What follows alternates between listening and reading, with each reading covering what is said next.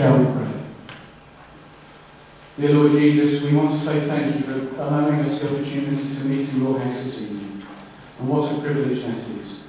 Thank you for the fellowship that we have and for the opportunity to, to share in this music together. Lord, we offer this music as an act of praise and an act of worship to you. And we're mindful that we can do all of this without you and it means nothing. So we thank you for being here, and we ask you to be at the centre of everything that takes place here this evening. Be with each one of us as we go through this evening.